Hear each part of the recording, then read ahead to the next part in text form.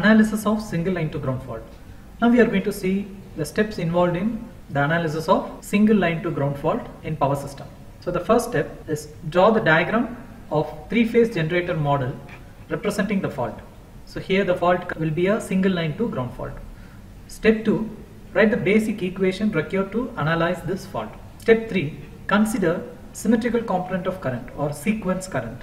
Step 4 consider symmetrical component of voltage from the sequence network of generator. Step 5 consider the phase voltage. Step 6 find the positive sequence current IA plus. Step 7 find the fault current IF and the final step step 8 draw the sequence network. These are the 8 steps using which we are going to analyze the single line to ground fault. Step 1 draw the diagram of three phase generator model representing the fault. So here is a single line to ground fault. This type of fault is a most common type of fault. 70% of the fault occurred in power system is of this type of fault and this is caused by a lightning or uh, conductors making contact with grounded structures. Consider a three phase generator model. It has uh, induced EMF EA and the self impedance ZS. Similarly for other two phases and you will be having a neutral current and neutral impedance. Consider a fault occurs at phase EA and which is connected to ground. So from A phase to ground there is a single line to ground fault. So and this A phase to ground will be having a fault impedance. The fault current is grounded through the fault impedance ZF and the voltage across that ZF is VA. So this is the diagram which represents the fault point. Step 2 write the basic equation required for this fault analysis. Considering the three phase generator model with the fault location. Here we are considering the fault occurs at A phase. So IA current is flowing as a fault which is short circuited to the ground.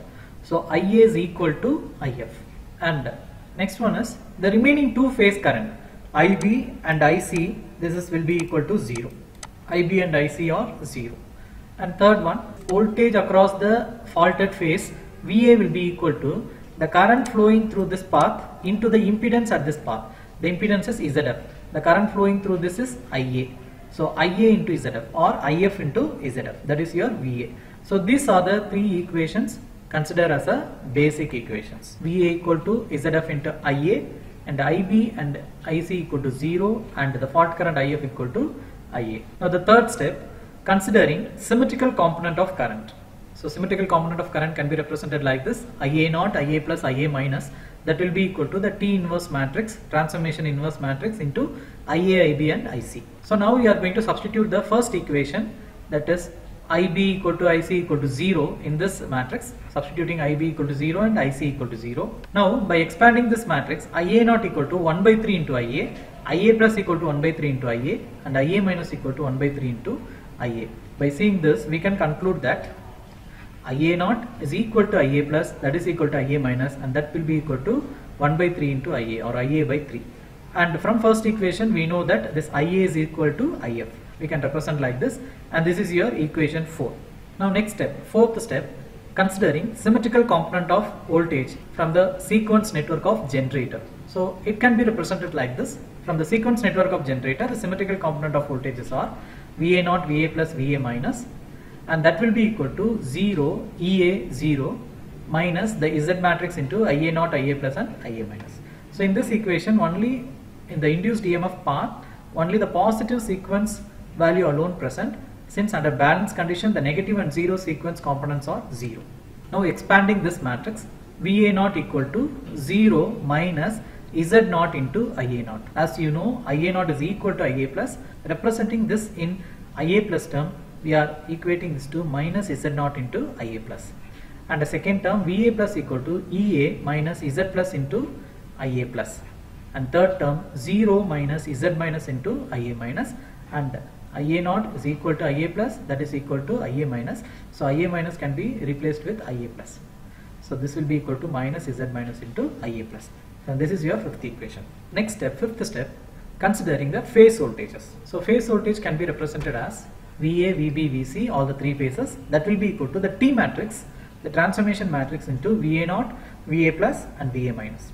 Expanding this matrix and here we are considering the fault occurs at A phase. So we are going to write only the A phase voltage. So VA equal to VA naught, VA plus and VA minus. No need of this VB and VC. We are considering only the faulted line. And that is your seventh equation. Now, at step 6, we are going to find the positive sequence current IA plus. So from equation 1, we are going to consider this VA voltage equal to ZF into IA from equation 1 and from equation 7 this VA will be equal to VA naught plus VA plus plus VM. Now we are going to equate this to so ZF IA that will be equal to VA naught plus VA plus plus VA minus. Now we are going to substitute the equation 5 in equation 8. So this is your equation 8 and now from the fifth equation we are going to take this VA naught, VA plus and VA minus and we are going to substitute over here. So substitute equation 5 and 8. So from fifth equation we got uh, VA naught equal to minus Z naught into IA plus and VA plus equal to EA minus Z plus IA plus minus VA minus equal to Z minus into IA plus. And we know that IA plus equal to IA divided by 3. So using that instead of this IA I am going to replace with 3 into IA plus. So IA equal to 3 into IA plus.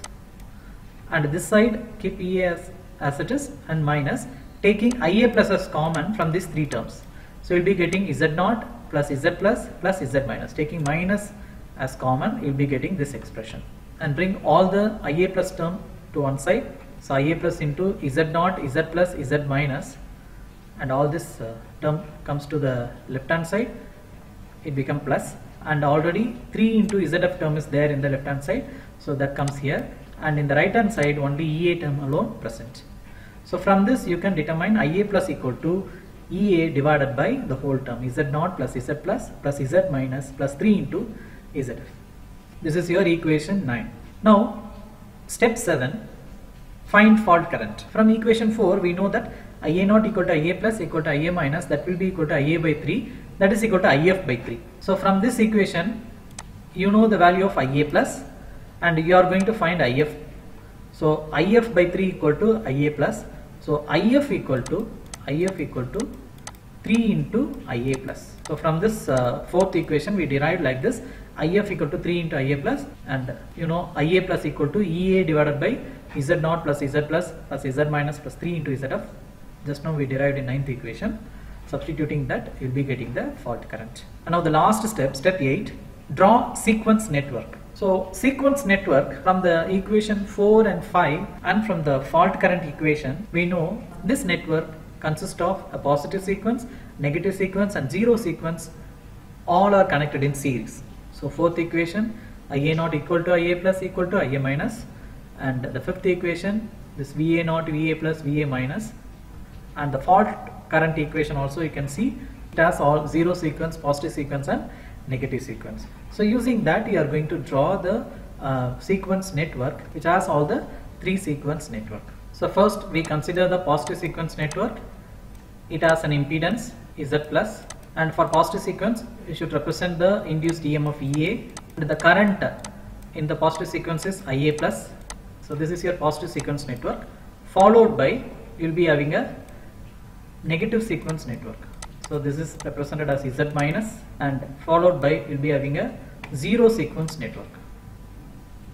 And this zero sequence network is Z naught and Z naught value and you can connect this thing with the fault impedance. So here the fault impedance is 3 times ZF. Okay, current in the negative sequence is IA minus and the current in the zero sequence is IA naught. Similarly, you can represent the voltage across uh, positive sequence is VA plus and uh, negative sequence is VA minus and zero sequence is VA naught. Okay, so here all the three sequence networks are connected in series and which is directly connected to this ZF. This is how you need to draw the sequence network of a single line to ground fault. And here this Z naught can be represented as ZS plus 3ZF. So this is how you need to draw the sequence network. So this is the analysis of a single line to ground fault in the power system.